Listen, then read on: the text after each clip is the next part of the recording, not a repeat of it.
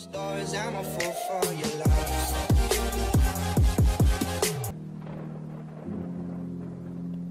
Hello there, welcome back to my channel.